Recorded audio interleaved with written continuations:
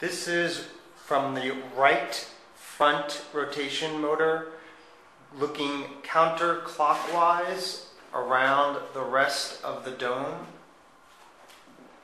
Just passing right here, those are my uh, shutter home switches for the going to the shutter relay.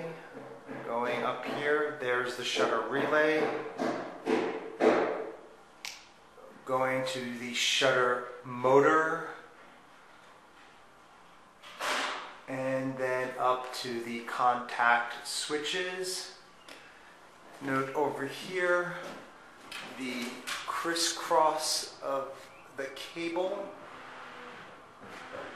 coming back down and continuing around again counter counterclockwise and stopping here at the left front rotation motor from the outside. This is a better view of the shutter motor and shows coming up right here the crisscross going to the pulley. So this actually one cable lays on top of the other cable. This is a video of the shutter relay um, switch switches coming up onto their stops.